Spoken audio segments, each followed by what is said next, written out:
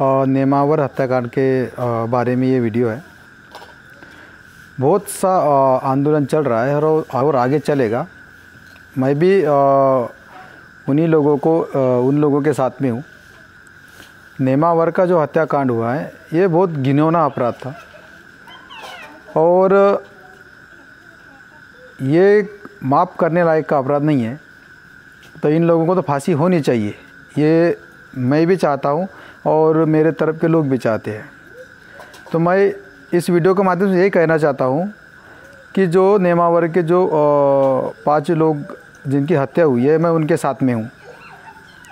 और उन अपराधियों को छोड़ना नहीं चाहिए। और मैं ये भी कहता हूँ कि सीबीआई जाँच तो होनी चाहिए, क्योंकि कहीं पर तो एमपी पुलिस के ऊपर दबाव है या प्रेशर है, इसकी वजह से वो कार्रवाई नहीं हो पा रही है।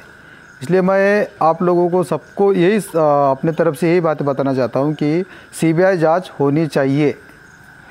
और जब सीबीआई जाँच होगी, तभी जो बाकी के छुपे हुए लोग हैं, उनके पीछे कौन कौन है, उनका सबका पता लगेगा। तो मैं, मेरे सगा जन के साथ में मैं खड़ा हूँ, और मैं उनको यही बताना चाहता हूँ कि आदिवासी इस देश का मालिक था, और आज भी है तो मालिक के साथ अगर ऐसा हो सकता है तो फिर बाकी तो छोटी सी बात है। इसलिए मैं यही कहना चाहता हूँ कि इन दोषियों को छोड़ना नहीं चाहिए। इनको तो फांसी होनी ही चाहिए। जय सेवा, जय गोंडवाना।